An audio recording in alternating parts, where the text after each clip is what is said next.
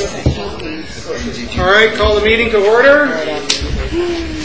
Welcome to our public board meeting, February 28th, 2012. We live in interesting times. Um, Have adoption of the regular board meeting minutes. Move to adopt. Second. Any discussion? All those in favor? And that is carried. Uh, Adoption of the agenda. So moved. All those in favor? And that is carried. Uh, Report out, we, uh, the board did meet, in a camera meeting, and talked uh, personnel and financial matters. Before moving into the management report, um, I just wanted to um, say a couple of things um, around some additions to our table and some losses with, with, in our working relationships with, with the board. Uh, Starting with Janice Wright. Janice Wright has been uh, the CUPE president um, for many years and uh, isn't here this evening, um, but is well represented by CUPE. And just wanted, on behalf of the board, acknowledge um, the years of service that she put in as the as the CUPE president and the, strong working relationship that she's had with this board and the boards in the past. So, on the board's behalf, thank you, Janice. Um, Also want to acknowledge that we have our new Secretary Treasurer, uh, Mr. Horswell, who is here this evening, and uh, will be uh, taking over the reins from uh, Mr. Ron Amos, who did a yeoman's job in um, filling the breach between uh, Mr. Ibbs's departure and uh, and Russell's arrival. So uh, welcome, Russell, and uh, on behalf of the board, thank you very much, Ron, for your outstanding uh, work in the in the months in between. We're here. Thank you. Madam Superintendent. Thank you. Um, Through the chair and to everyone in the audience, um, it's always my great delight to start a public board meeting with good news items. And as I've mentioned in the past, we have so very many of them, we kind of have to sort of have wait lists and try and get everything on one sheet of paper. So I'm not going to read through um, the document that you have in front of you. Um, there's there's a number of things that are going on in our district uh, that are taking our children to uh, different districts. Uh, the Destination Imagination. Uh, you will recall that um, that was an initiative that uh, really came to fruition last year, and we ended up. Um, to the great delight and surprise of many at the uh, global competitions in the Destination Imagination last year.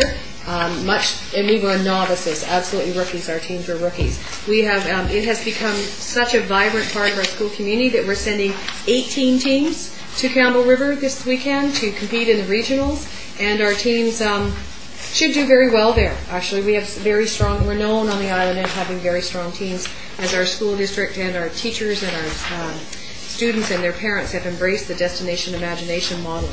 Um, many other things on that item, but what I'd really like to spend my two minutes on is um, the reason that some of us who should not normally choose these colors, like I'm not a woman who should wear this color by choice, but I am certainly proud to wear it, um, as are everyone else here in the room. Of course, tomorrow is Anti-Bullying Day, February 29th. Um, it is a provincial-wide initiative, a, uh, a national initiative uh, now, and certainly an initiative that our district has embraced. Um, there are activities going on in every single school, from elementary to secondary. Most in in most schools, it's an all-day kind of adventure with a variety of things for students to participate in. Um, and of course, the message simply for us is that we are trying to um, make our help our students believe that bullying um, should not exist in their world, and that we all have a responsibility to make that happen for them. And we can focus on uh, the fact that bullying does occur in schools, um, and I would not say to you that it doesn't, and that we do what we're working hard to make sure that we address it and that we're dealing with it. But bullying goes on outside, and so as we model as adults for our children that bullying is not something that should be happening to them or anyone else, we need to be conscious that bullying goes on amongst adults in homes, in workplaces, and in the world at large, in the power play between adults and, um, which is what really bullying is about. We need to be vigilant that we're modeling the kind of behavior that we want our students to. So that's a big part of what we're working on tomorrow. And the only, um, we have a list on our website, I believe, of all the activities, and if you're connected to a school, I'm sure as a parent um, or as a staff member, you know that there's all kinds of ways for you to be connected to this. We want it to not be a single day item And so one of, some of the projects that are uh, either coming to fruition tomorrow or beginning tomorrow will be year-long kind of adventures for students and staff to participate in. But I would like to just share with you as my final good news item, some news about how adversity creates honor and integrity and celebration. So what I'd like to point out to you is that tomorrow, um, on YouTube, will be the launch of a, uh, the final fruit of a project that began out of tragedy in the valley in the fall, uh, where students were looking for uh, places to go to find community again and to feel good about themselves and to celebrate the lives of some of their peers that had been lost. And we recall the time, the difficult time we had this fall in our high schools across the district. And some students at Vanier were looking for something to do that would be meaningful and that would uh, highlight the positive things that go on in their lives. They managed to, long story short, managed to brainstorm that they'd like to make a video and worked with the staff at Vanier and with myself and we sort of brainstormed over what that could look like. And in the end, what, occurred was a partnership between Vanier students and Shane Koyczan, our national slam poet, famous, of course, the gentleman who opened the Olympics with a poem about, Canada. And he gave his time, he stopped everything and came to the Valley, and over the course of the last three months has worked with Vanier students to produce a video with an original piece of his work about building community and not being alone. And, and it's a celebratory piece. It's stunningly beautiful. And that will be released professionally by his company tomorrow as his tribute to the anti-bullying campaign and as his tribute to the Comox Valley. Additionally, so this is about a six-minute video that's on YouTube. What we will release tomorrow as well is a 30-minute video made by the students of Vanier that is probably one of the most moving pieces of film you as a, a person might might see because it speaks to it speaks to the valley and it speaks to building community. Uh, I will, uh, we're going to post it on our website. Uh, it'll be on most school districts' websites, and certainly you'll be able to see it probably through the YouTube link as well. And it features a piece of music written by a student that is just stunningly beautiful. Jan Sprowett wrote this as part of how she was processing loss, and so I would encourage you to take the time to uh, to have a look at this video. And it speak it, it is the speaking it speaks to the making of the video, but it is about how the community gathered to help students make this video.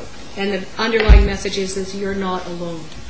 There's always someone out there for you. So that is our final piece of Anti-Bullying Day, and we would encourage you to have a look at that and to share it amongst anyone you think might be moved and touched by it. And I think there'd be very few people that wouldn't be. So that's my good news. Thank you. Um, Before leaving that um, section and asking you to move on to your uh, student achievement report, uh, I have the great pleasure as the board chair, on behalf of the board, uh, to publicly um, acknowledge and uh, thank two of our um, finest contributors to our district, uh, Mr. Paul Berry and Mr. Steve White, who are joining us this evening. Gentlemen, could I ask you to stand? And I'd like you to turn around and look at the camera. The quality of the camera is so good. For the seven people that are watching us this evening. Um, uh, Both Paul and Steve were recently recognized, appropriately so, by the Comox Valley Chamber of Commerce um, and received their uh, Citizen of the Year awards for Mr. Barry and Hero of the Year award for Mr. White. Um, And we are extremely proud and grateful um, of the work that you have done, continue to do uh, within the school district. Um, You're um, shining lights of what, um, what contributions uh, individuals can make to communities. And as, as a board, as a district, we're extremely proud and grateful for your contribution. So please, on our behalf, take our thanks.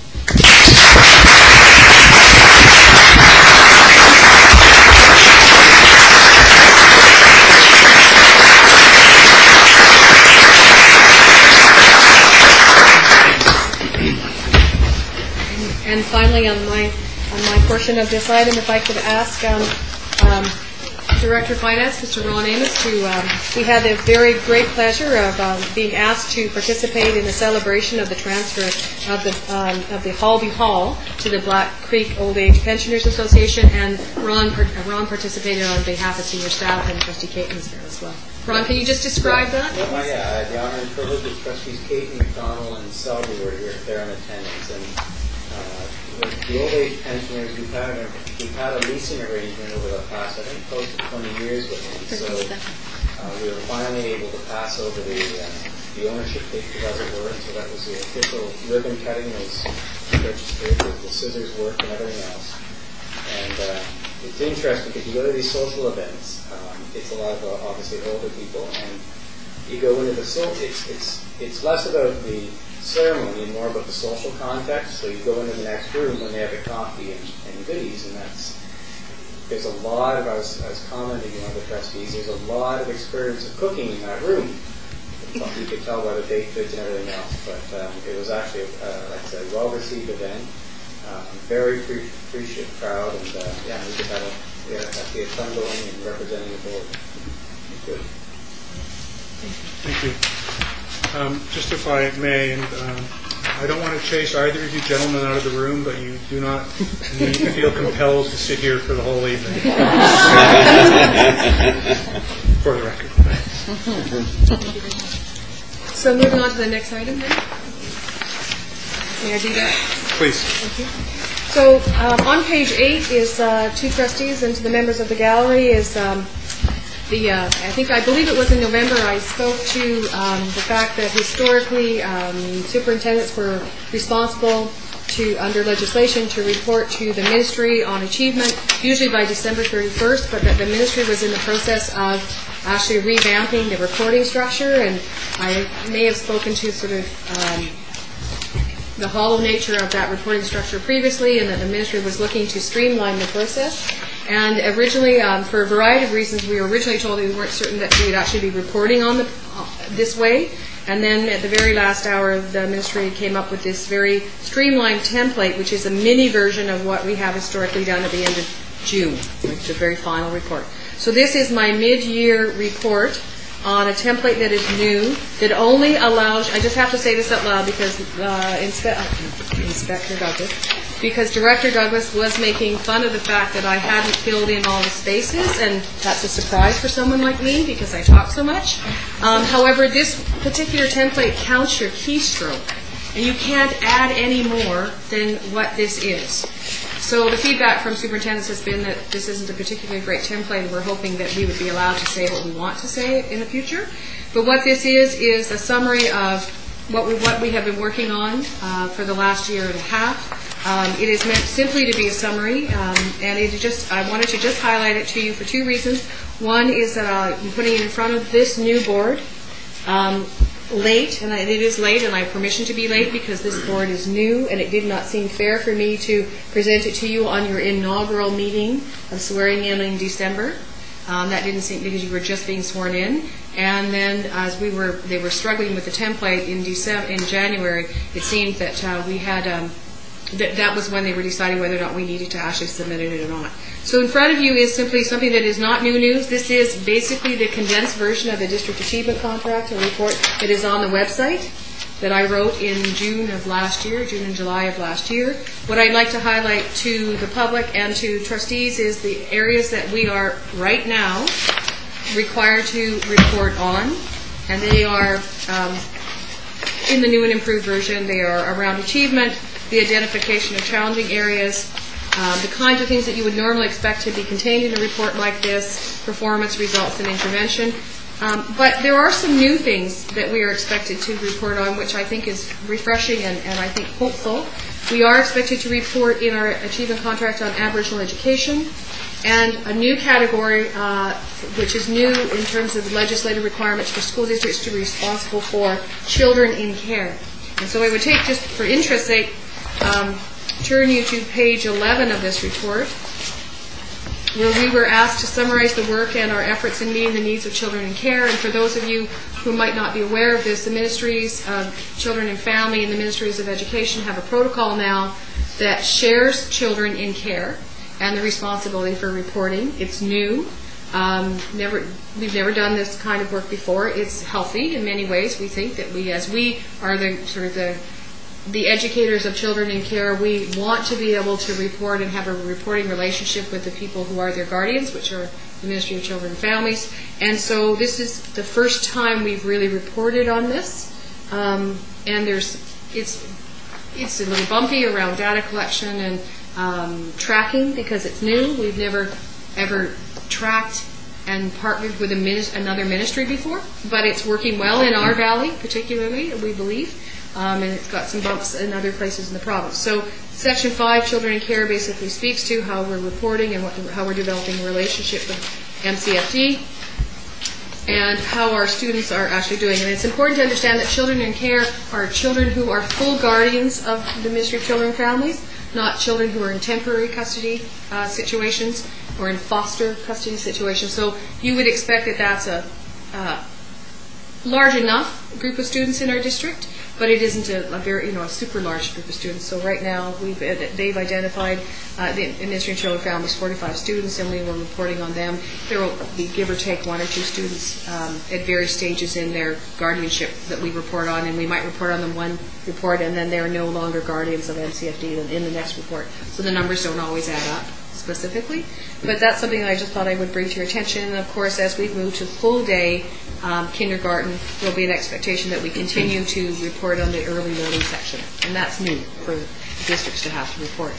You'll see a much, when they, when they design it um, and give it to us, you'll see a much, much more broader, more fuller version of the superintendent's report coming out at the end of the school year. So to your attention and for your endorsement, if I could ask, um, for a motion to endorse, not to approve, but to endorse my report, so I can send it to the minister. Candace? I make a motion that the Board of Education endorse the mission of the 2011-2012 Superintendent's Report on Student Achievement as presented. We have a seconder. Second. Trustee Van Porta, thank you. Any discussion? I have a question and then maybe a comment. One is that on, Uh, under the early learning section, it says that we are a WTK district. Welcome to kindergarten. Thank you. I, I also, I don't know what an SLP is. Student learning plan. Thank Or you. sto- No, I'm sorry, it can be two, student learning plan, or in this case, speech language pathology. Okay, okay, thank you. I guess I, Sorry, jargon. Any any other questions? I have one question, if I may. Um, Perhaps not for this report, but for the final report. Where there are references, and just an example, under challenging areas, uh, number two, where it says FSA results due to low participant rates, on average, 50% more students opt out than the provincial non-participation rate. Um, Would ask just some consideration for a number that that relates to, because it's 50% of, so I don't know if that's a big number or or a little number. So just, where we have that, that would be great. Okay, uh, no further discussion, we'll call the question, or all those in favor? Uh, And that carried unanimously. Thank you. Thank you very much. We will move to the inaugural Secretary Treasurer report. That's good. Thank you. Um, Just a procedural um, information before we dive into the uh, annual operating budget, and that's just to review the school act on the passage of bylaws. Um, uh, my understanding is the school jurisdiction in the past has read out all of the bylaws for each of the readings, and Section 68.3 of the School Act does not require us to do that. What we need to do is uh, read the title and a provide a description of the bylaw, provided everyone in the audience and, and the board has a written copy of it, so we can expedite the reading of a bylaw a little bit. It's not too bad on a budget bylaw, but some of the other bylaws can get fairly long in doing that.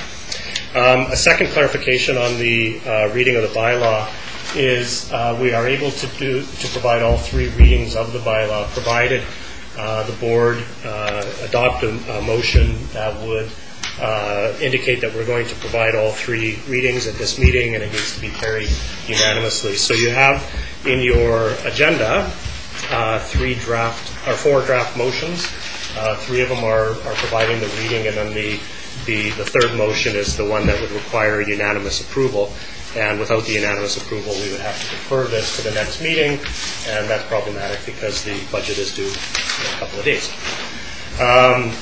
So on uh, pages 14 through 22 in your, in your agenda is the amended annual budget for fiscal year 11-12. On page 21 is the actual amended annual budget bylaw. It is a total amount of $75,643,715, uh, $715. And page 22 is a detailed summary of, of the changes. Um, In essence, our, projected revenues are up approximately $356,000. Our corresponding increase in expenditures um, are up $366,000. We have a slight increase of our projected operating deficit of $10,000. Um, In the amended budget, we are projecting a shortfall of $401,956. Now, the board has had an opportunity, both in our, uh, in our trustee orientation and training session, to, to go through the, the budget in detail. Um, So it would not be my intention to, to do that tonight. Um, However, if the board has any questions, I certainly, and, and Ron, can uh, attempt to answer them. And it was also discussed at the finance? Yes, correct, thank you. And uh, there are minutes in the, uh, in your package uh, board agenda for later on. The uh, finance committee also considered the operating budget. Are there any questions, for on the- on the budget? Do we have a motion? So, the way they are here? Yes. Okay.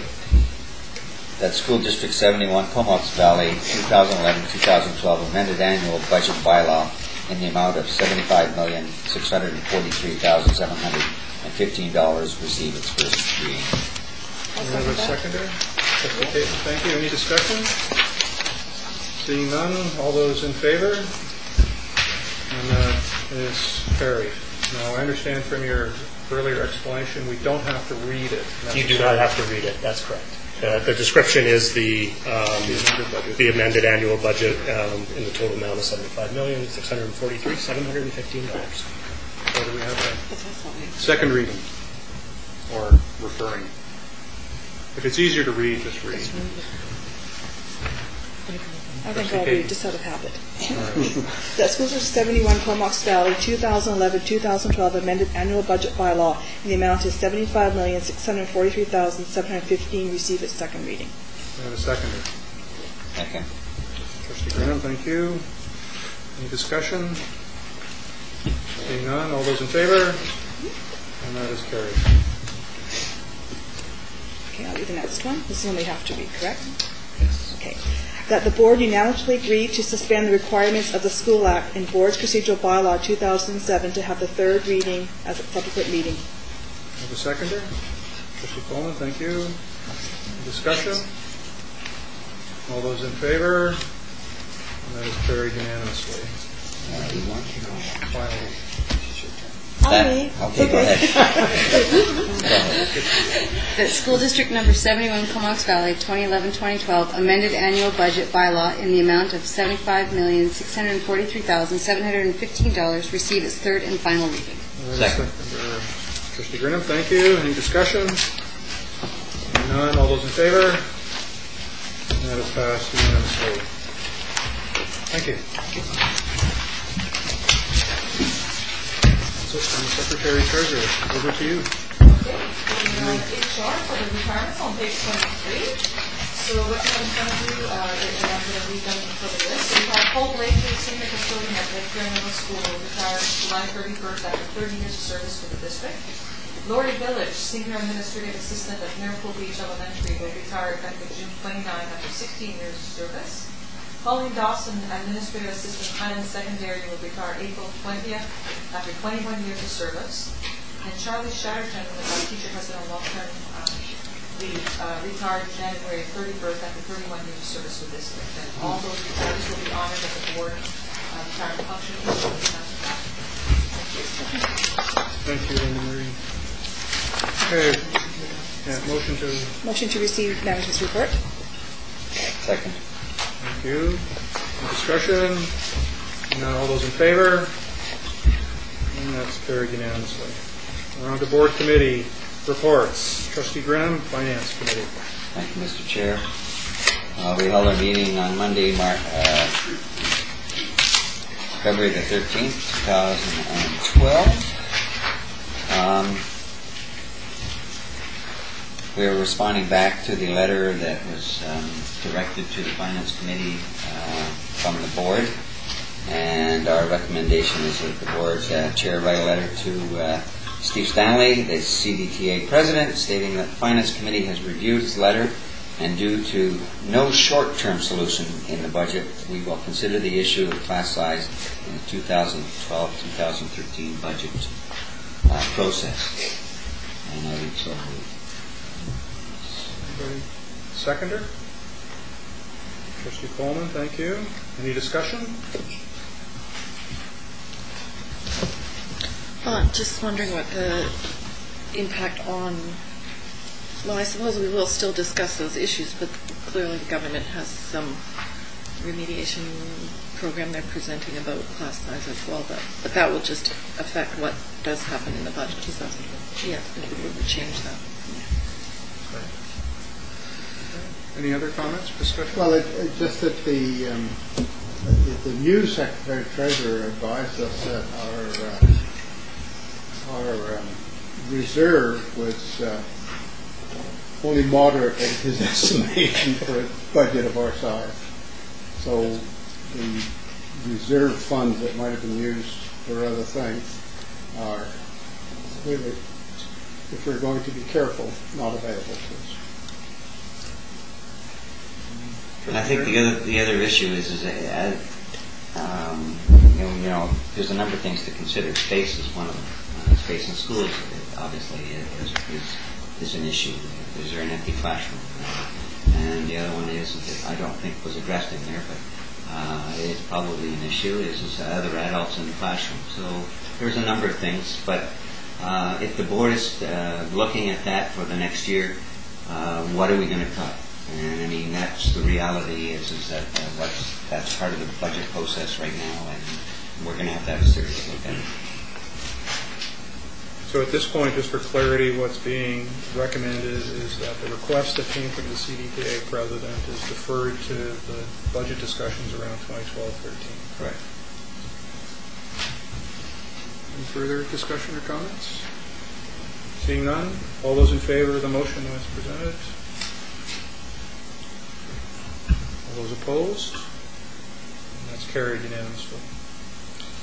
Uh, The second thing that we have is this committee membership, and it is the recommendation uh, that the Director of Finance, uh, Ron Amos, and other senior staff, as required, be included in the Finance Committee. And the process there is to have a more rounded process as far as um, a monthly budget process, annual uh, budget, et cetera, so that, that we have also included a couple of other things on the, in the the finance committee, so uh, it's, it makes sense to uh, add those other senior staff. So that first part was the motion? First Yes. part was the motion? Okay, do I have a seconder for the motion? Second. Thank you, trustee Payton. Any discussion? Is there anything else you want to add? Sorry, Rick. No, that's Any questions or comments? Seeing none, all those in favor? And that's carried unanimously. And the third thing was, um, um, we had a discussion in regards to the Budget Advisory Ad Hoc Committee. Uh, And I'm not, I didn't do the research on this one. Uh, There's not a policy, but it was my understanding that it was appointed from year to year by the board. And um, our recommendation and motion is that the board dissolve the Budgetary Advisory Ad Hoc Committee for the year 2011-2012 school year, and that the Finance Committee be responsible for the budget. Okay, so, um, so you, so you went past what you got Okay. there. Did you want that added on, or do you No, we don't, we don't need to add that on. It- It's, it's- it's just expected. just as written? Yes. Do I have a seconder? Trustee Coleman, thank you. Any discussion? Janice? Um, with respect to the, um, the budget coming up in the process and that, at which time will the finance committee be, um, sharing that information with, uh, with the board and that as to the process of the finance, as the budget and how that will happen? Uh, We've already, uh, last month, uh, we sent out the uh, schedule. Uh, And certainly, uh, the budget will be coming back to the board to deal with. It's not the finance committee to deal with it, It's- it's, the- it's the board. But uh, there's a number of schedules, uh, of dates that that will be uh, starting in March for the process with partner groups. Before you go a second time, is there any any other trustees have a comment or question? Okay, it's more of a follow-up. The information you gave us was a tentative schedule? Yes. When will the definitive, absolute schedules, this when will happen regarding the process of the budget and that, through you, Mr. Chair, as to the rest of that? Well, um, the Secretary Treasurer and I will be working on that and we will be uh, sending out an email with those updated uh, dates. Um, I have just one question. Um, With the um, the dissolving of the ad hoc committee, which um, in theory and to some degree in practice allowed for the, encouraged the input from others, what safeguards are there in the system as we move forward to ensure that um, those who have comment and opinion will be able to bring... Well, there's actually a couple. First of all, we've asked uh, that there be a link on the uh, website uh, so that both staff and the public uh, can comment uh, on the budget process, and we will uh, be putting the budget on, on that link as well. And so we're, our feeling is, is that uh, if history proves itself, a public meeting is generally six or eight people, and generally half of them are staff. Uh, So we don't get a large turnout for a uh, budget review. Uh, And we're hoping that by um, using the, um, the website, uh, that may encourage other people to uh, speak about the budget, things that they feel are, that uh, we either have not addressed in the budget or they feel passionate about, and we will take that time to, to review that process. And we've also ensured that uh, each of our partner groups will have an opportunity uh, to sit down and go over the entire budget and have an opportunity to make presentations as well. So we feel it's a fair process.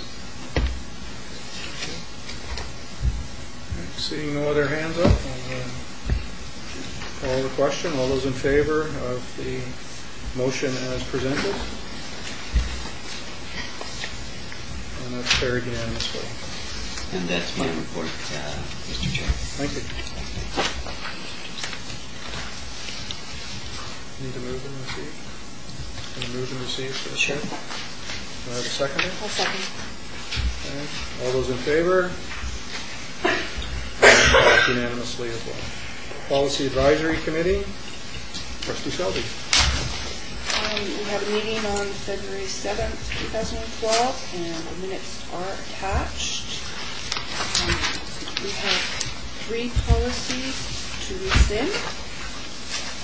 I move that the board rescind policy 5012, retirement, policy 3011, mealtime breaks, and policy 3016, criminal res- record search, and 3016 R1, criminal record search employees as presented.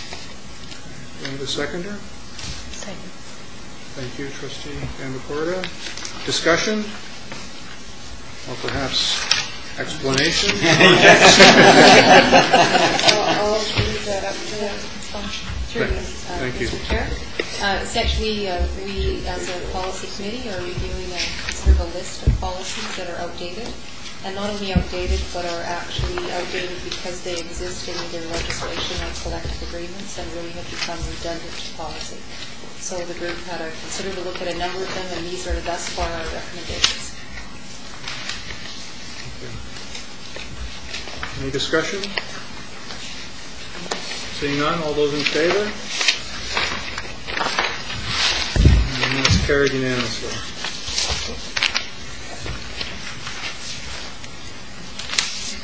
That's all I have for now. Um, We will be having the next meeting on Tuesday, March 6th. Thank you. Want to move receipt of your report? Second. Seconder. Thank you, trustee Grinham. All those in favor? And that's carried unanimously. Thank you. An update to Education Committee? I don't have a report to, um, to report um, tonight. Um, Our last few Education Committee meetings have been used for trustee orientation and, governance. We have a tentative date, possibly March the 13th, as um, possible date for our Education Committee meeting. If we choose to go forward with that, we will announce it on the website and, and connect with our community partners on that one there. But we've been using our, our meetings to, for governance, updating on finance, working together as a new board and their senior management and getting a handle on what's happening in our district, which has been really, really positive. I thank senior management for giving us that education. It's been really wonderful and well received. Thank you. There is no real report, so we, pardon me? Tuesday night fire hall. Tuesday night fire hall. Thought it was just all Thank you. Uh, There's no report, so there's no receipt. Transportation Committee, trustee McDonald.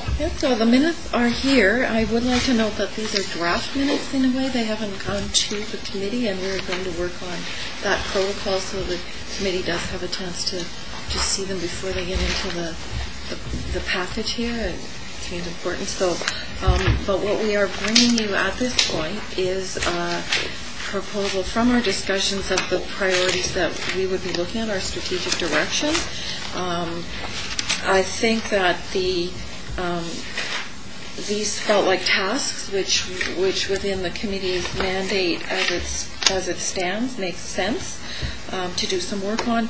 There are, uh, and, you'll, you know, reading this, uh, recognize that the committee is trying to identify the places where uh, we're dealing with management reporting to the committee on their specifics of our busing and, other transportation programming, and places where the committee is addressing um, some governance issues, policy, public outreach, and um, and trying to get clear on that. So we'll probably be doing more work around our our mandate um, as we go along. But we felt that we could we could identify these um, particular strategic directions.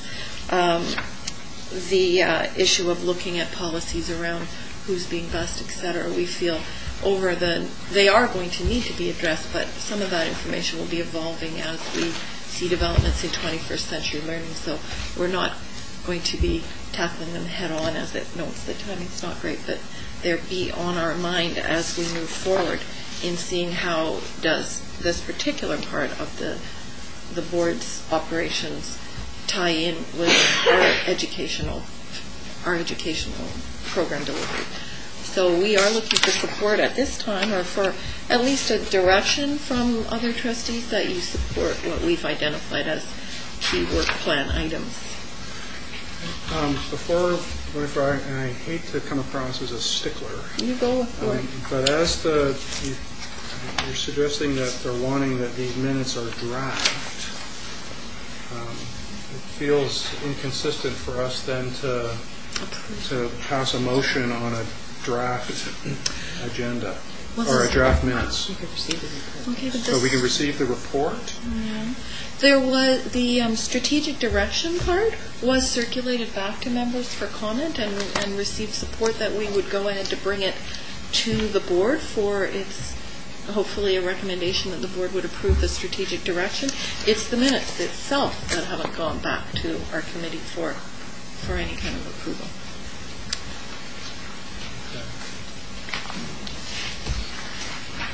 This could be endorsed, these are just for information. Yeah, that would work. Yeah, so, so the. I will the make sure next time that the, that the committee members have had a chance to see the minutes before they're included in an agenda package. Because the, uh, strategic, the four key strategies are identified in the minutes as well, and then uh, the overall strategic direction. Okay.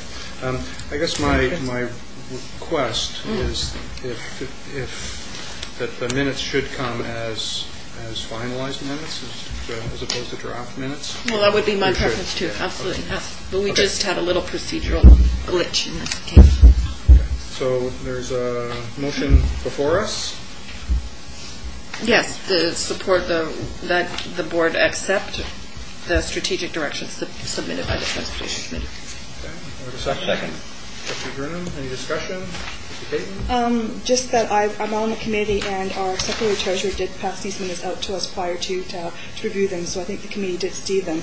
And um, basically, it's for information, so I'm happy with the format that we've had, and maybe part of our governance session, we can discuss that. But secretary treasurer did pass these out to us, and we did peruse them, so um, we had a chance to look at them, and they are reflective of what we discussed at committee, so I'm happy moving forward on them. Well, somehow I didn't receive them, but I did receive the strategic plan, but I didn't receive the minutes, so that's, I'm then speaking from a incomplete piece of information, Janice. I'm so glad you got them. Trustee Brown? Yeah.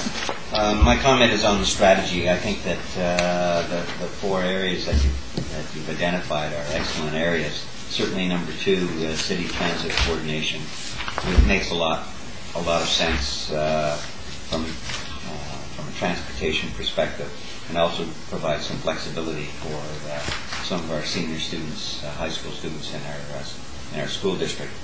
Um, but I also see that number four, and you've already identified it, that 21st century learning transportation effects, and what that's going to look like. Uh, Good luck with that one. Thank you. We do. So trustee Coleman, you had your hand up? Just uh, that uh, I support the uh, strategic uh, direction, and I will continue to support them even when they come into, m- in, as formal minutes of meetings. Thank you. Okay. Any other comments or discussion? All right. All those in favor of the motion as presented? Carried unanimously. Thanks so much. Thank you. Uh, move to To receive- move to receive the report of the treasurer. Thank you. All those in favor? That's unanimous. Thank you very much. Uh, uh, board appointees and other bodies, committee structure, trustee Gambacorda, DCSTA, DCPC, trustee orientation. Yes, we, um, February 9th to 11th, we were at the new trustee academy in Richmond. Uh, It was attended by trustees Selby, Grinham, Caton, Coleman, and myself. Uh, We had two sessions with Davis Campbell, who is a senior research fellow at the Center for Applied Policy and Education at the University of California. Really fascinating speaker. Um, He wrote down what the trustee is about and their their role and the board's role, and um, it was very informative. Uh, We had a candidate uh, speech from the Honorable George Abbott, which was also entertaining. Um, and uh, also with Judith Clark and the legal role. So it was a lot of learning, a lot of listening, um, rounded out by a really good game of Jeopardy, learning the history of um, the BC, um, BC, uh, SBCSTA, uh, history of negotiations and stuff, and we came in third. Out of 40. We're good. And we actually, we would come in first except for Secretary Treasurer. He lost a couple of questions All for us. all right. Had to guess, always pick C. I Alberta. know, I was from Alberta. I know. So, Thank you Thank you. for board information. Thank you. Okay, um, the BCSTA Provincial Council, trustee Caton? I attended the council this weekend, and I just have a couple of updates um, for everybody. Friday evening, we had a lovely uh, meeting with our Deputy Minister, Mr. Gorman. We talked to trustees about that lovely word, the budget, and the money. There is no more money coming. We were told emphatically there's no more money coming. Um, the one thing that the government has done a flip-flop on is they've now decided that school districts and other governments can sell their assets. They want us to sell properties and lands, and they're encouraging us to do so. There's some pros and cons to that, and as that'll happen, more information will come. I believe a letter will be coming to the board and the district in the near future as to their goals. They actually have a target. Every year they want so much money actually um, earned, identified. They want X amount of dollars every year, and they don't have that number because it fluctuates. We were told like $44 million one one year, 24 million the other, other years. They want actually revenue from properties being sold, so that's a target they actually want us to hit. We have some questions about that, and then when the letter comes to the board, we will have some more questions on that. Um, The other interesting one is the word inviting. And inviting doesn't really mean inviting with the ministry, I don't believe anymore. But they're talking about shared services, and they've invited 14 Lower Mainland boards to be part of a shared servicing program. It's a pilot program to look at how to share costs to save money, looking at district offices and how can you share services and cost and um, and save money. And um, it's, it's going to happen. We were told the Lower Mainland is going to be their pilot project. And what school boards they have yet to identify, I believe there's 14 they were looking at, and as to who they were going to identify will be coming shortly also. And on Saturday, two things to note. Um, our trustee December Academy is not happening this year. In fact, we are actually having an academy in November in conjunction with the Superintendent's Association, Principals Association, and BC ASBO. It's called an educational conference where they're hoping each district will bring together a group of, um, trustees, senior staff, um, teachers, parents to this conference, and that's a new thing that, that our board will be getting more information in the next month or two. That will be in November. And our BCST fees will be slightly increase, increase, increasing this year. I think we'll pay $600 more this year than we did last year to um, for BCST support services. So just some highlights of um, interesting, interesting meeting. Any comments or questions from trustees? Thank you very much. Thank you. Uh, New business.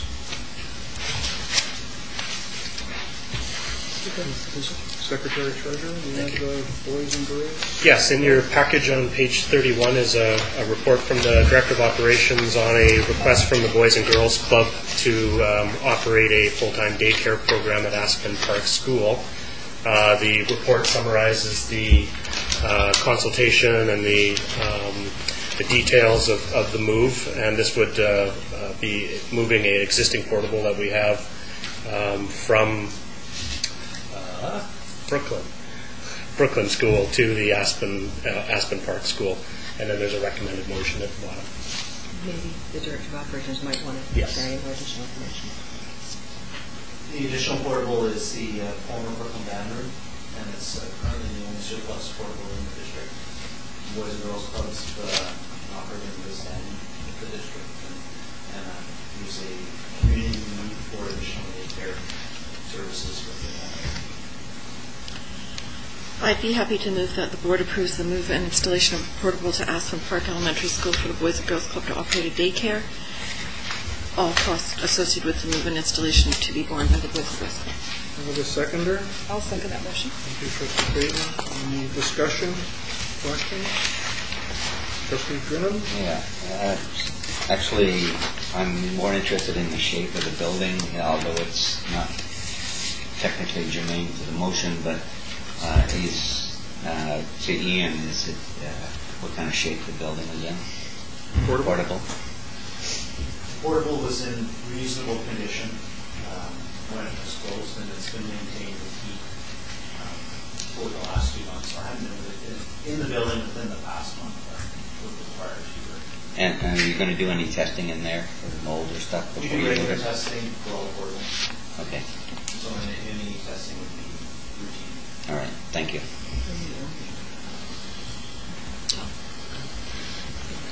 Um, To you, Mr. you, Mr. Chair, um, to our Director of Operations over there, um, if there's any problems down the line, is the district held uh, held for any cost problems regarding um, if there's any structural or anything coming along the line, are we held responsible for stuff like that? All cleaning and maintenance of the portables is typically, the, the cleaning service is by the provider, and then we provide maintenance of the portable. If it's a school district resource. Tom, can I the- comment?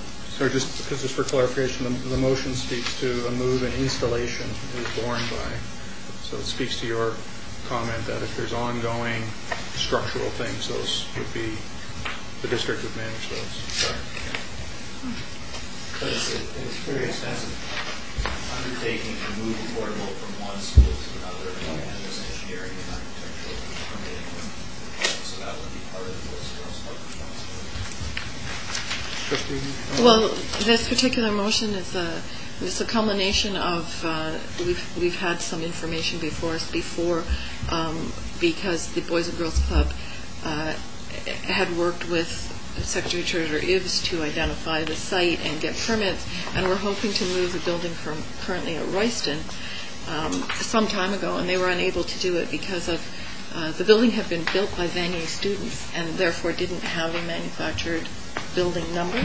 And so they have been for more than a year wanting to be able to have that building and respond to the needs of parents in that area. And I, um, I'm so glad that there was the space available. They do have the funds already on hand to move forward with it.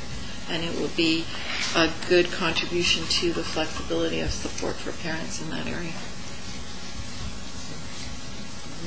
I have uh, one question, just for clarification, maybe there's two, um, uh, one question. Um, This is one portable at the Aspen School site, this isn't a second portable. Um, Is there any part of the actual physical Aspen School building that will be used by the daycare provider? Is this an expansion of something No, they're currently doing before and after school care in the, within the school, and they don't have sufficient space to go through the day. So their desire would be to have two portables on site so they can do some community programming and some, some daycare. Um, We don't have two portables available for them. okay, you threw me there for a second. So about have one the, portable. the uh, Brooklyn portable is a, it's quite a large one, former boundary, so you can, could be some offices and subdivision space within it. So, so is the intent for the entire operation to move into that structure, or will those still, so the before and after school will be in the, Yes. that site? Thank you. Trustee Hampton I have a question through you, Chair. Uh, Will they have to take some of the playground and fence it in, being it's now a separate daycare, not run through the school? That's a good question, I'm not sure. Uh, Typically, the daycare is, a- it- it's a, it's a mix. The daycare at Vanier, for example, has a a fenced-in playground area, uh, at Queneesh they do not. So they, there's a good site identified um, on the west side of the school, there's a fair bit of open space. And uh, the principal thinks it would tie in quite nicely to, to the existing school. So there isn't much in the way of, I would say, younger, younger student play structure because it wasn't on the school. So I think they could collaboratively build something that would suit the needs of the school and the Thank you. Okay, thanks. Seeing no further hands up, I'll call the question. So the motion as presented, all those in favor? And that carries unanimously. Thank you. Signing authority. Who should lead this? Secretary. Well, he can't lead it. He can't lead it. I'll lead it. Mr. President. Uh, I would ask the trustees to consider the motion on page four, which is to simply to, the board delete Leonard Ebbs as a signatory for School District 71 Comox Valley, and that the board authorize Russell Horswell signing authority for School District 71 Comox Valley. Move the recommendation. Second. All right, Thank you. Any discussions? Seeing none, all those in favor? And that carries unanimously. Thank you. The correspondence. Um, See before you the first correspondence, which is from Mr. Paul Ives, the mayor of the town of Comox. Motion referred to the Transportation Committee? Um, Do I have a seconder? Second. Thank you. Is there any discussion? Any questions about the letter? Trustee Brenham? Uh, Yeah. it's, uh, it was uh, paragraph three that raised uh, an issue uh, with some expectations by um, the town of Comox uh, council um, in regards to the implementation, maintaining a crossing program to support the crossing of school children both before and after school and further. Uh, That raises a couple of issues uh, immediately about lollipop ladies or uh, whatever, and uh, Lo- By lollipop, you mean carrying a stop sign. yes, well, everybody knows what I mean. I, uh, Not everybody. wanna make sure. Okay. I think the ladies. All right. But I, I'm, I'm I'm really concerned about that because there, there may be an expectation here. And so uh, you're invited to, to uh, join uh, Trustee Coleman and meet with that council, and I hope that you raise that issue that uh, it's a financial issue that uh, we have to be very careful about. Um, Well, if I may, I think the intent, or the intent of referring it to the Transportation Committee is to fully explore that, and then the Transportation Committee brings back some suggestions or suggested direction for uh, me and perhaps trustee Coleman, should we move forward with this. And, but subsequent to that, I mean, you are going to be the, uh, Yes. the two people that are going to have that discussion. Trustee Coleman, and then... Well, there- there are a considerable number of other issues that should be raised, uh, so I'd s- s- uh, I would like to help frame the agenda for the meeting.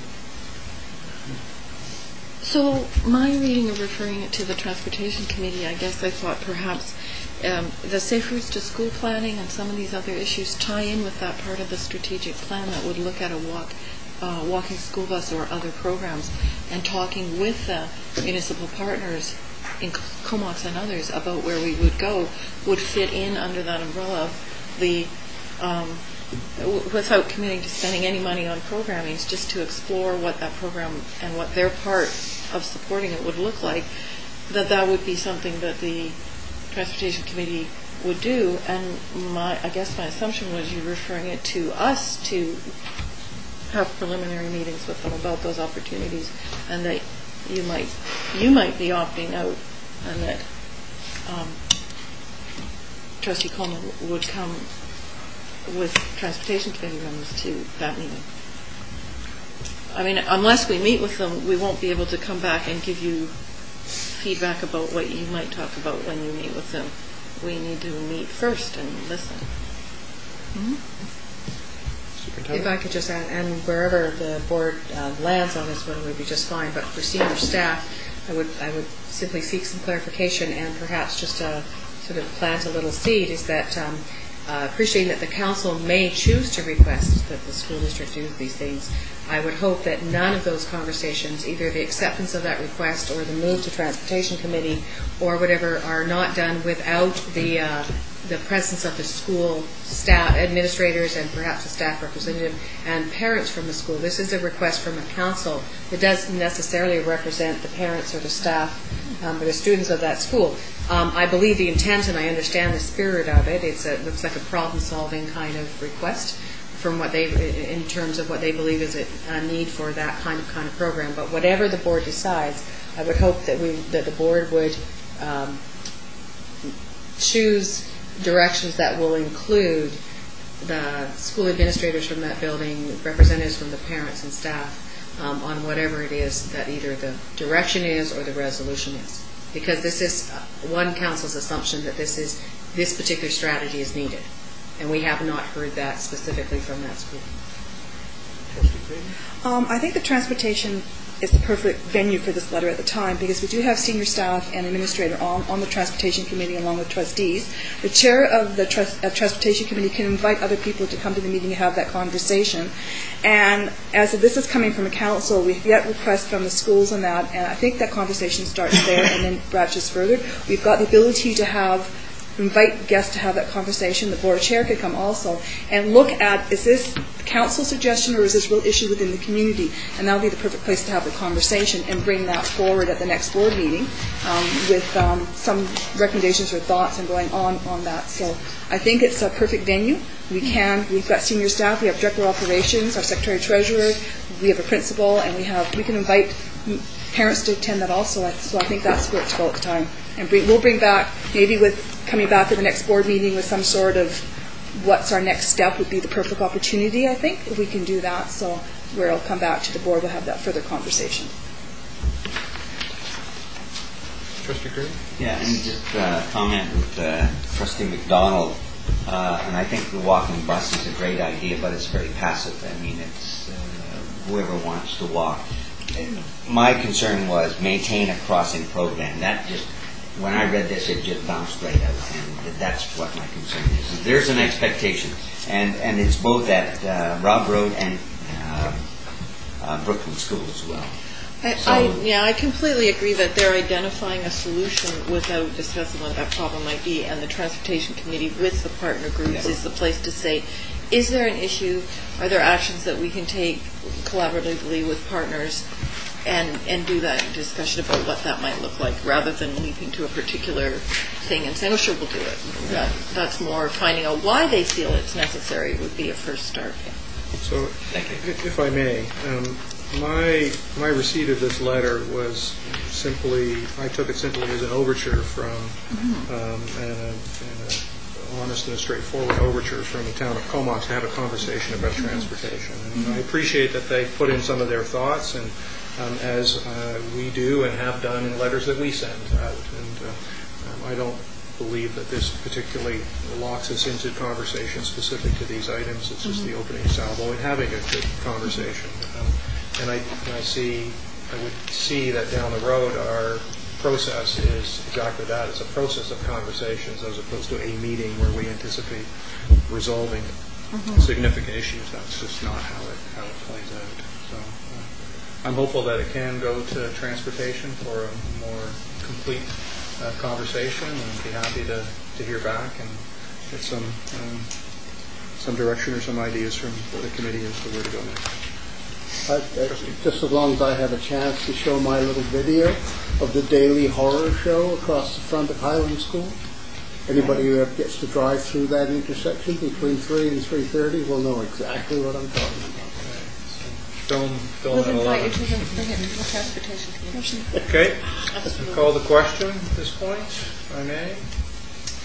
Um, So the, uh, the motion before us is to refer to Transportation Committee. All those in favor? Opposed? And That carried unanimously. Thank you. Okay, the next series of uh, of correspondence for are um, similar in theme regarding supervision uh, issues at various schools. We have Tanya Frawley, uh, PAC Chair from Brooklyn Elementary, and we have Meadow Wood from Cumberland Elementary, also the PAC Chair. Uh, Marika, and I apologize if I mispronounced that, Tarian, uh, PAC Chair from Queneesh, and Allison Nichols, uh, Nicholas, a parent from Robb Road Elementary. You see the, had a chance to look at the letters, you see the, uh, the motion uh, that's on the agenda to refer to senior management. I so move that 2A, B, C, and D refer to management as presented. Second. Any discussion? I- In referring something, is there, is there a need to make a motion if we're just to refer and I ask the secretary treasurer, uh, is there a need to make a motion if just refer something? It's a good way to do it in the sense that it provides board directive um, to the matter. Fair enough. So before we do uh, sort of vote on this, uh, because this is an item that has uh, appeared before the board um, in the past through correspondence and through presentations in the public, I would like to ask through you, Superintendent Elwood, to perhaps ask Mr. Douglas to provide us with an And just before we, um, I think, I think uh, Director Douglas can give us a bit of an update, but um, we'd appreciate the opportunity uh, for, for the board to refer this to senior management, because as you read through the letters, even though they are themed uh, in topic, their requests are very different letter by letter, and there's a total of about 28 different requests in this package, all of which we could, we, it would be disrespectful for us to just respond in a general, general kind of way. And so what we'd like to be able to do is for you to refer them to senior management, and we will produce a report back at the next meeting that speaks to the general uh, topic, but also some of the specifics that are in some of the letters, because they ask for some very different kinds of responses of, uh, of the district um, to their, to their concerns. And so if you give us that opportunity, we would greatly appreciate that. And just to say that th- this has been an item on, uh, on the agenda previously in the last month or so, last two meetings, I believe it has been. And it isn't that we haven't been working through these items with principals of schools and perhaps providing some resources, which initially, and then processing some of the suggestions that have either come from senior management and/or parents. And so I'll- I'll ask uh, Director Douglas to just give us a brief update from the last elementary principals meeting and the- and where we would move um, where we were moving already. Uh, And then, a- again, uh, your, um, we would appreciate an opportunity for you to refer this to us so we can report back specifically on the requests in these letters. Thank you. To you, Mr. Chair. Um, We have 15 elementary schools, as you know, and we have been talking about supervision around full-day K since we implemented full-day K last school year. And the elementary principals meet every single month. And every month, this has been a topic that we have talked about. And, you know, we anticipated there would be a lot of trouble with this. And so the first year, we were mildly surprised to know that it wasn't a big problem at all. And there were other things that were identified as a problem with implementation of full-day K, not supervision. This year, though, it has been identified, and for those schools that have identified, it's a real problem for them. And so one of the things that we have done is we had two schools come forward, had uh, two administrators of two of the schools, Cumberland and Eco Robb Road, saying we need more supervision. And I, and I believe it had to do with the new modulars.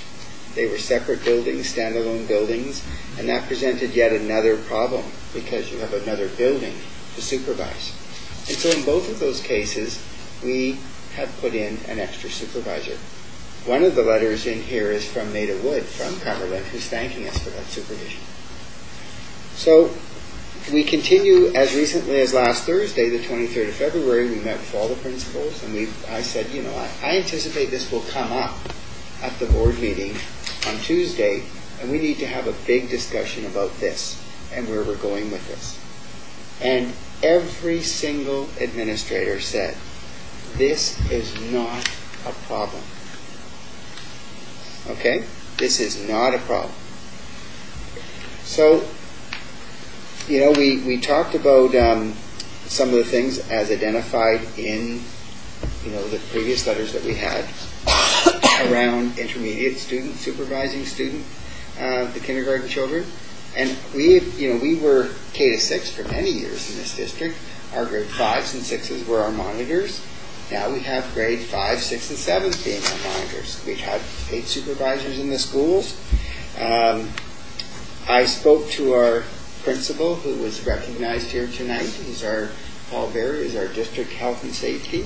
I said, in the two years that you've done this, how many reports have we had about incidents around lunchtime with kids choking or you know, food like that? None. So we were kind of left like this, to be honest with you, at the end of the meeting. And certainly we can refer and we can talk some more and take a look at this, but um, we we have a good track record. Now, does that mean that something, you know, could not, you know, could happen? Yes, it probably could. I've been in the district for 32 years as a school principal, and we have not had any incidents at lunchtime around kids choking in those 32 years that I've been. But it could happen.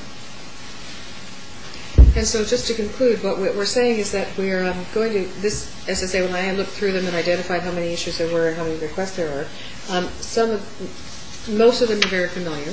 Some of them are already, I think, um, in the in the life of the school, and perhaps parents aren't quite aware of them. If we're actually doing a good job, it should be almost invisible, so people don't know. But we'll, we we will continue. We've also have acknowledged through this whole thing that one of our major difficulties is um, uh, uh, recruiting and keeping uh, supervisors. It's a CUPE position.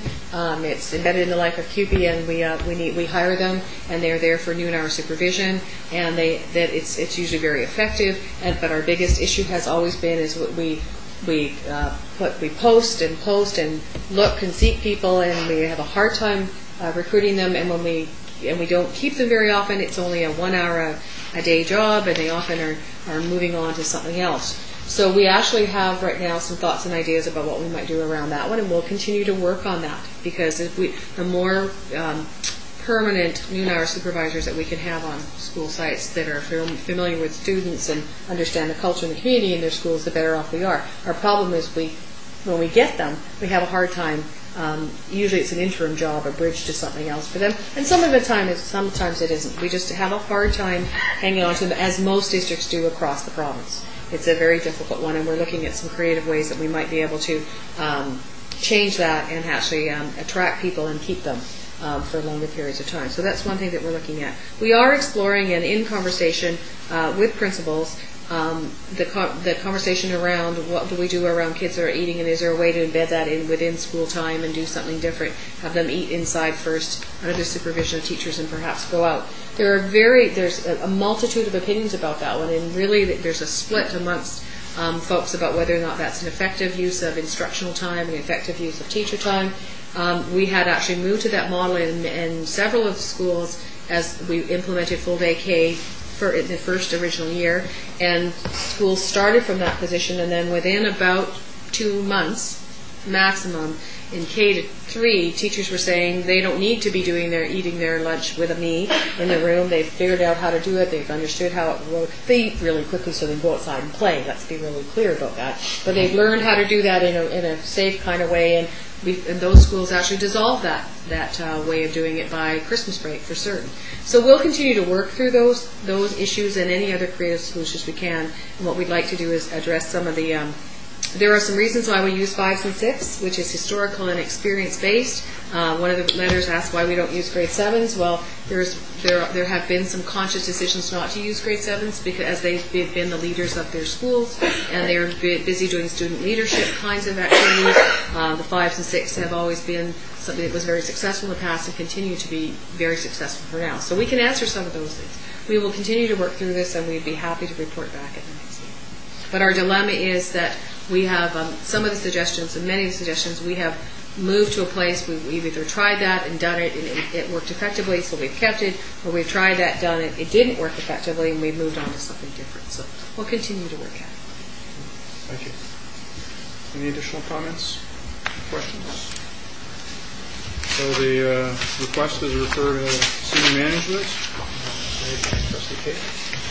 All those in favor? That's carried unanimously. Thank you very much. That's the end of our agenda, and we'll move to questions and inquiries. I don't see any hands Um, looks like there might possibly be a strike. Uh, Local strike starting on Friday. And I'm wondering if anyone from the board or um, superintendent would like to comment on that or get a message out to parents. Um, Well, um, I, like pretty well everybody at the table here this morning, uh, today, we're monitoring their Blackberries all day, and decisions were being made by the Labor Relations Board on the proposal of the teachers and uh, the government's action in the House. Um, So we are all digesting and learning this as we go. We had no, obviously, advance notice. Um, And our position as a district, when these types of circumstances arise, is that we will uh, message as best we can as the information comes available to us, either through the government or through the Teachers Federation. And I can simply, from an operational perspective, are you asking about how do we, you know, what's, what could parents expect? Um, I can't predict what, par- I, I can't predict what will happen, but I can tell you that we have done this before. Uh, we will, we have planned accordingly. We have a plan A, a B, a C, and a D, as you would expect. And the most important part of any of our plans will be that we, our messaging has always been the same, is that we will do our very best to communicate with parents. We have uh, two sort of two of the most reliable mechanisms that we have and the ones that we would hope that parents would pay attention to is that, that the, our website would be the place to go for information as it is about any kind of school closure or district-wide event. And in some cases, this is me predicting, in some cases, we might have additional information specifically to schools through our Synrevoice um, uh, system, which that allows um, messages specifically from schools to go out, Um, and it goes either via telephone and email, but certainly telephone for sure. And sometimes we use that same system to do a district district-wide messaging. It's very effective. So those are the two ways that we would communicate out with parents. We would always encourage parents to use the website. And then if we need detailed kind of more more detailed kind of information, we may use the voice messaging or email messaging system. But we will have we'll have plans. We've done this before. Any other questions? I have a question. Um, do I have to state my name for that part? That would be nice. Okay, I'm Denise Sanderson, and I teach at Queneesh Elementary. I guess um, I might go about in a roundabout way because I've been making notes over the last couple of days, so I hope it comes out clearer than, than what it. Could, could I ask one favor? Yeah. Could you start with the question? Sure. So then we know what to listen for when you Okay. provide the context. I want to know when the board is planning to stand up to the government and expect money to be put into the education system instead of just accepting what is. We have had cuts for the last 10 years.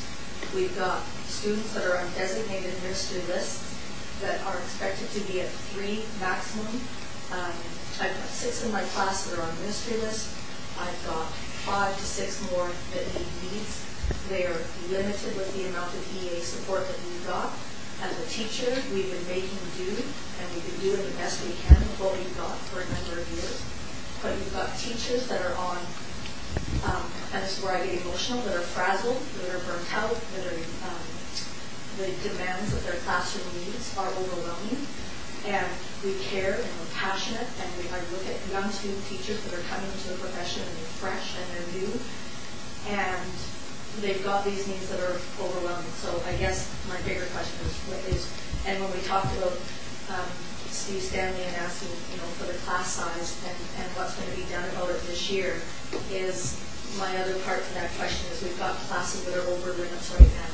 And what are those, what's being done to, to help out for those teachers that are in those classes that are over limits? Well, I'll speak to the first question, which is the, your, the board standing up to government question, and perhaps defer the question around the class size to the superintendent, if I may. Um, So the, this board, previous boards, and opportunities that we've had at BCSTA meetings, any opportunities, we share the concern of uh, the challenges there within the education system. We recognize, and this, this board recognizes, as do other boards, that it's an exceedingly complex matter. It's not straight, straightforward, just the dollars and cents, and there are many, um, many items that are embedded in the active conversations that have gone on between the Teachers Federation and the, and the, and the, and the government. And for, for us as, um, as witnesses to that process, as opposed to participants in that process, for us to try to distill and provide opinion is um, risky because we're not there at the table for those conversations. Um, I think that, uh, that we, we are we are aware, um, uh, grudgingly aware that uh, that we are in an economic climate that has existed for, for some time that has challenged uh, not only education but but other other public services. So our our hope through the process that is beginning to unfold or appears to be unfolding today um, is that there will be opportunities that will allow for um, for an increased influx. There was a reference to um, some dollars that are being made available to address uh, needs. Does that in and of itself satisfy everyone? Unlikely. I don't know, but I assume unlikely. But it's a beginning to the to the conversation. And if you'd like me just to respond to your, the second part, I think, which is about what, what are we doing right now for all the classes that are over limits.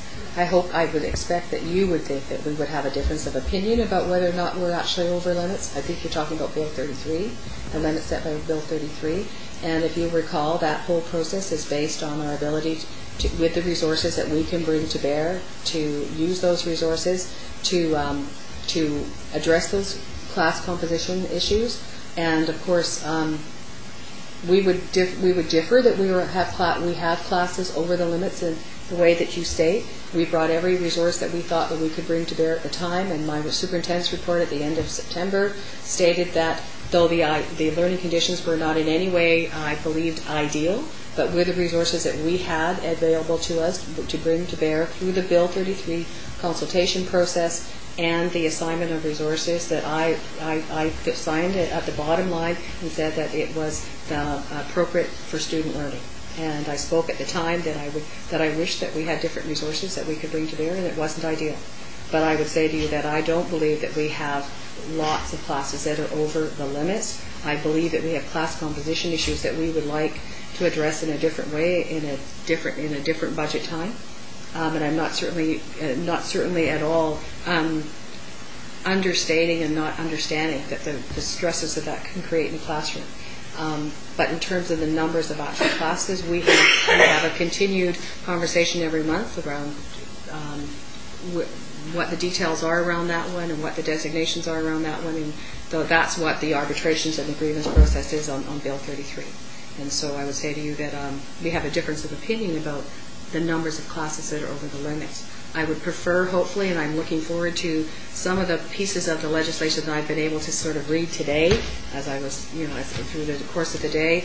I'm looking forward to um, the removal of Bill 33, to be truthful, uh, that will getting and getting us all to a place where we can talk about student learning in classrooms for all students and to make sure that the students with special needs get resources, but also that the learning conditions for all students in the classroom. I'm hoping that by um, the dissolution of Bill 33 and its aggregate and all the other things that were brought to bear that were so burdensome, that we can have much better conversations amongst us, not uh, with me having to fill out check boxes to go to government and you feeling that you needed to be able to find enough kids to be able to have an argument. I think I'd much rather have conversation about what's best for kids in your class um, and the class next door. So if um, I don't necessarily like how it has evolved, but the legislation that I saw today leads me to believe that we might have much better conversations amongst us um, about about your classroom.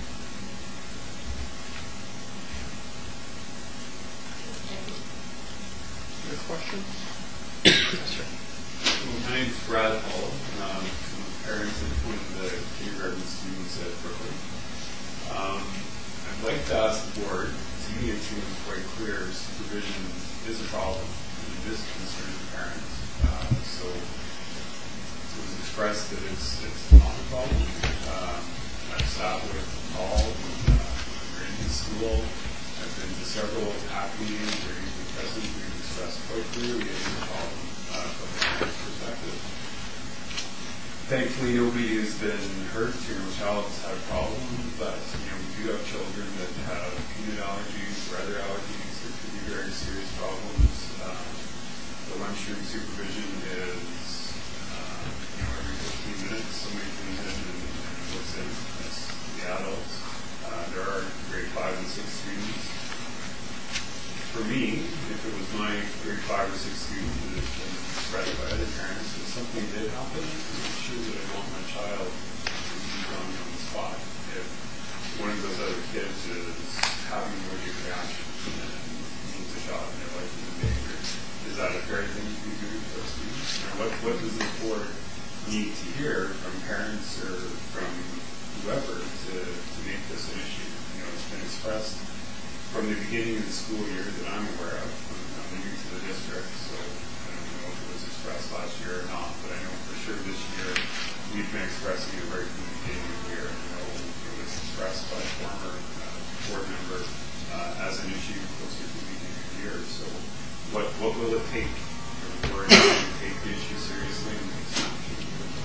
So thank you for the question. Um, um, I, I apologize uh, on, on behalf of the board if we're suggesting that we're not taking it seriously or that we're uninterested. We're in fact very much interested and, and, and recognize that it's a that it's been an issue that's gone on for some time. I think, and, and I won't fully speak for Director Douglas, I think his how I heard his comments around not an issue was the conversation that he had with with his administrators from their their perspective, and that doesn't devalue, in my view, the perspective that parents have brought forward in correspondence and submissions here um, through questions um, at, at the board meeting.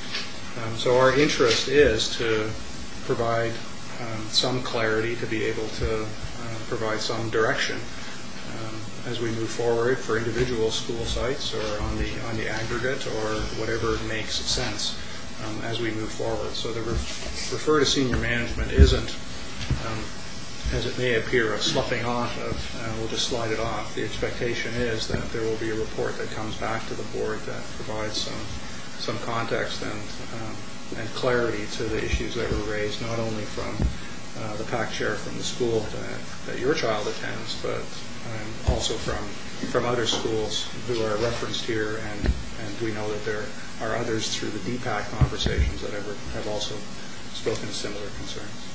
Well, I guess there's a, disparity because there are the issue of portables was brought up earlier, and there was some provision added that uh, one of the schools, uh, Robb Road, I think, where they do have an adult that supervises lunch the entire time. So I guess would the board like to be in a situation where something happens at a different school where there isn't adult supervision, you know, that looks, uh, that doesn't look very good. If one school has something that the other school is not getting the same treatment, that it's not getting the same treatment, is that, is that appropriate? It doesn't seem appropriate from my perspective.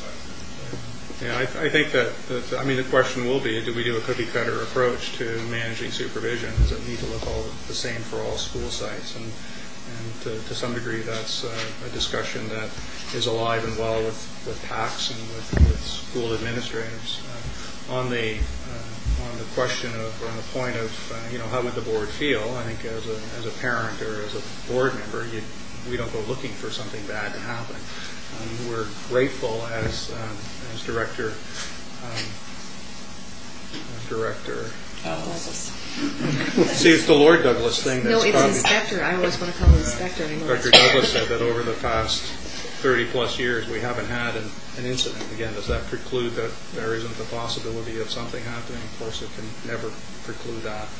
Um, Is, is there a way for the board to take a more aggressive stance? I, I appreciate that it's being referred to senior management, but can the board not um, take a little more aggressive stance and, ask that the, the solution is uh, the solution is put in place that does allow for kindergarten students. You're talking about four-year-olds in, many cases. Uh, that there is an adult supervising them all the time. I left my four-year-old, you know, with my grade five students by themselves out on the street, it wouldn't be looked on very favorably. So I was okay in the classroom. You know, it- So the, the, in terms of the, the request is, can the board tonight say, so- but what we're asking, so the answer to that is no. Right, but, but the request is, all the rest of it, But this has been an issue. Um, I guess I'd like to see the board be more aggressive about it. I appreciate it being referred to senior management. That's, that's great. The report will come back and another month has gone by or six weeks or however long it's going to take.